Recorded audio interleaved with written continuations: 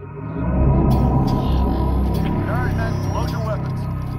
Watch your backs. There's one.